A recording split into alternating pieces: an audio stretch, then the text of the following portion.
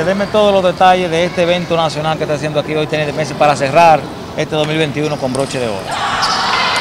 Enhorabuena, gracias por, por visitarnos en este torneo nacional. Este es el primer torneo nacional luego de la pandemia, ¿no?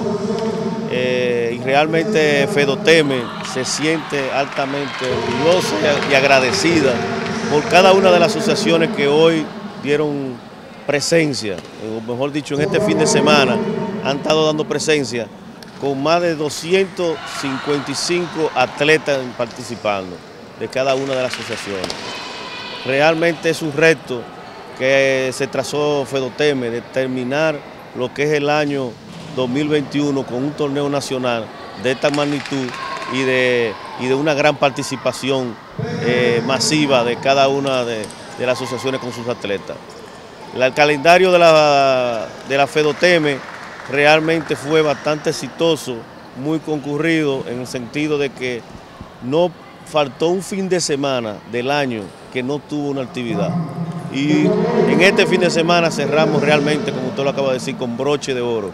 Y realmente fue un éxito total. ¿Cómo, está, ¿Cómo te ve el relevo, el desarrollo del tenis de mesa aquí en la República Dominicana, en toda la provincia, aquí en el Distrito Nacional? ¿Cómo está el relevo que ya debe de comenzar a dar fruto?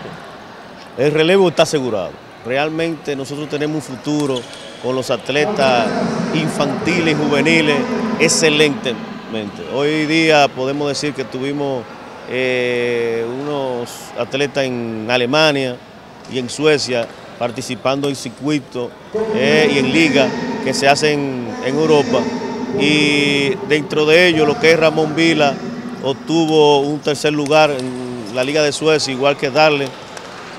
Estuvo también en su categoría una medalla de, bronce, ¿verdad? Un tercer lugar. Y Rafa Cabrera en Francia también estuvo con muy buena participación, con un segundo lugar también en la Liga de, Francia. Es decir, que nosotros tenemos realmente unas, unas selecciones eh, nacionales asegurando el, futuro del tenis de mesa. Finalmente, tenemos un mensaje de Navidad y de Año Nuevo a toda la República Dominicana del parte del presidente de la Federación Dominicana de Tenis de Mesa. Sí, eh, le damos, ¿verdad?, las bendiciones, las felicitaciones al pueblo en sentido general de Dominicana, que esta Navidad tengan su regocijo familiar, eh, que disfruten la, cena navideña junto a la familia, que es lo, principal, la unidad de la familia dominicana, y que Dios me lo bendiga a todos y gracias a ustedes por, por entrevistarme. Feliz Año Nuevo. En Santiago. Cuénteme de esta bonita actividad del Parque del Este Tenis. La verdad que la Federación Dominicana de Tenis de Mesa, su equipo de trabajo, eh, ha querido terminar el año haciendo lo que nos gusta y es organizando eventos eh, para beneficio de las asociaciones de los niños y niñas que conforman la familia del tenis de mesa de la República Dominicana. Aquí tenemos 14, 15 asociaciones. Eh, que la hemos convocado para organizar el campeonato nacional. En esta oportunidad lo estamos haciendo individual, primero por asuntos de tiempo, dinero. Eh, sin embargo, eh, hoy tenemos una reunión del comité ejecutivo que dirige el doctor Landrón con el objetivo de planificar, organizar y comenzar a establecer la estrategia y los programas eh, para el año 2022. esperamos que ese año 2022 sea un año muy interesante para el tenis de mesa de la República Dominicana. Estamos poco a poco venciendo a la pandemia y, esperamos que con la ayuda del Estado Dominicano, del Ministerio de Deporte, eh, lanzar un plan nacional de tenis de mesa y sobre todo en el sector escolar junto con INEFI. Eso es lo que pretendemos y con la ayuda de todos ustedes, la prensa y, la familia del deporte en República Dominicana, pretendemos realizar un año de muy buena gestión. El calendario para el próximo año de eventos nacional e internacional, ya lo saben, ¿cuáles son las primeras competencias que tenemos al principio, en los primeros cuatro meses del año? Precisamente hoy nos vamos a juntar para eso, porque todo depende del calendario internacional y por el asunto del mismo COVID, Nosotros, la Panamericana, que somos los que establecemos los torneos importantes de América, fue la semana pasada que hicimos llegar una parte de la, de la programación con su fecha. Sin la fecha no podíamos establecer programas para que no coincida. Y en base a esa fecha nosotros hoy vamos a establecer el cronograma de, activi de actividades 2022. Juan, el próximo ciclo olímpico es muy cerca, apenas son tres años que faltan. ¿Cómo se está preparando? ¿Con qué cuenta la federación para este próximo ciclo olímpico? Y de que por lo menos vienen los, Juegos de, de, de, París 24, para hay unos centroamericanos, hay, hay unos Juegos también panamericanos. Cuénteme de eso.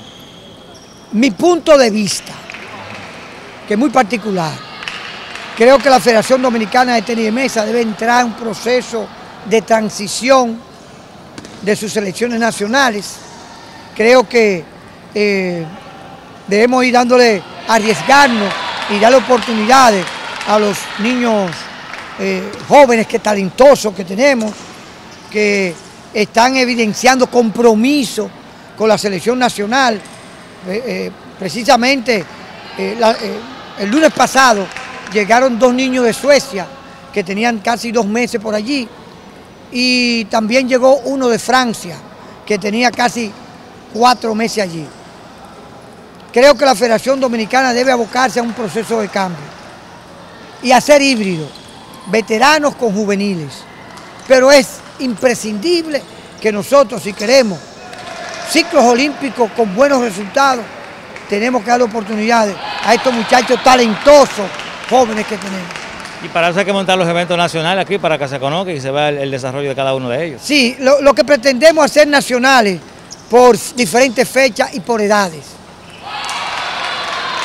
Eh, hoy, este fin de semana, estamos haciendo un torneo nacional de toda la categoría. Pretendemos hacer torneos nacionales, por ejemplo, 11 y 13 años juntos, 15 y 19 años juntos, 21 y superior, en diferentes fechas, como debe ser, y por equipo.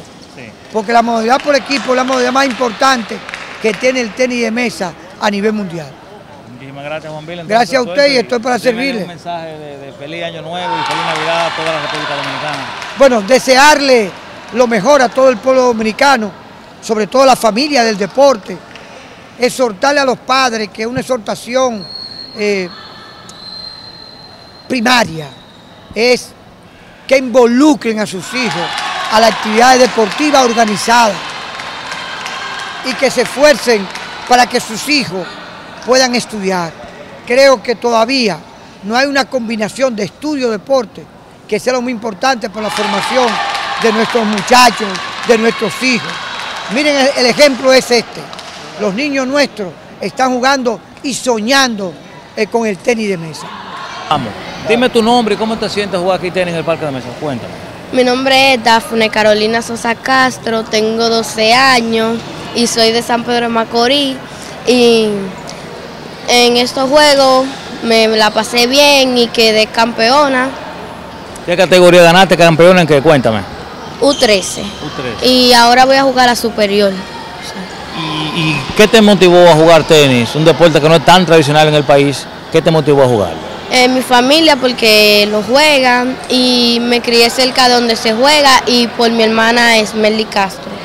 Eh, ¿Cómo fueron tus inicios en el tenis para que la gente lo sepa? Cuéntame. Mis inicios fueron desde chiquita con mi papá, que comencé jugando, y con varios entrenadores. Carolina, eh, eh, hubo un evento, el Hope, que tú estuviste y quedaste en una buena posición. ¿cómo, cuéntanos de ese proceso, de cómo tú llegas ahí y qué sucedió en este evento. en Ecuador yo quedé su campeona eso era para clasificar a un mundial y al quedar su campeona clasificar al mundial. Y en el ¿Dónde se llevó el mundial? ¿Dónde fue? El mundial fue en Amán, Jordania. Eh, ahí se hizo una competencia de las 20 mejores del mundo y jugué bien y aparte de ya llegar a un mundial puse la bandera muy alto de República Dominicana porque y fui la, la única que fue de aquí de República Dominicana. Y ahí en ese torneo jugaron muchas buenas también como yo. ¿Y qué lugar tú quedaste en general en este evento que reunió a las 20 mejores de- de- de tu categoría? Esto era como un campeonato. Esto nada más se jugó eh, para. Te dan beca de- y te mandan a entrenar a otro país por un tiempo, pero todavía hay que esperar que ellos man, si ellos dicen que nosotros tenemos que ir a entrenar a otro lugar, vamos, depende. Ok. Carolina, pero tú has viajado parte del mundo con apenas 12 años. ¿Alguna vez pensaste que tú ibas a viajar tan pronto en tenis de mesa como deportista, atleta? Eh, cuando yo era chiquita, yo veía a mi hermana, entonces yo le había dicho a mi papá que yo quería jugar así como ella y viajar. Y ahora yo no he viajado más, más, más viajes por la cuarentena, pero ya yo he viajado como Puerto Rico, Venezuela, Ecuador y Jordania. Cuéntanos de esta experiencia en estos países.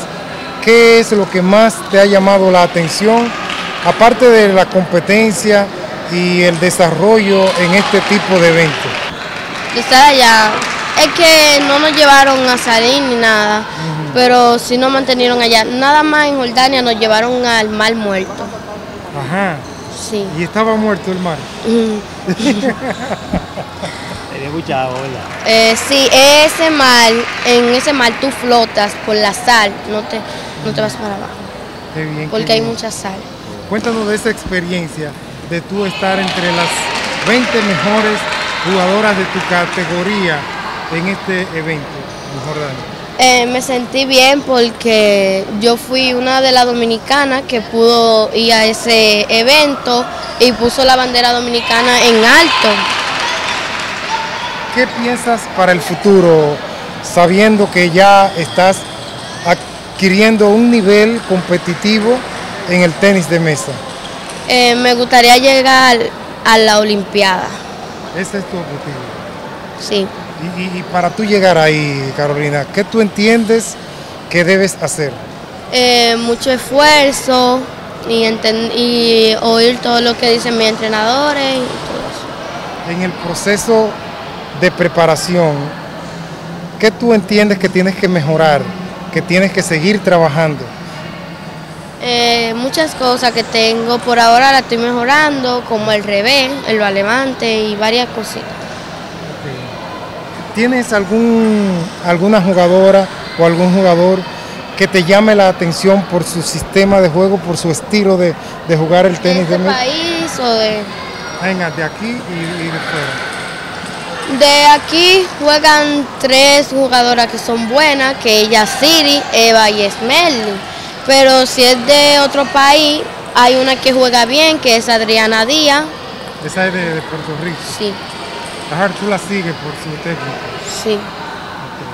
¿Qué tú entiendes que de, de- de tus compañeros, cómo, tú, cómo han asimilado tu progreso?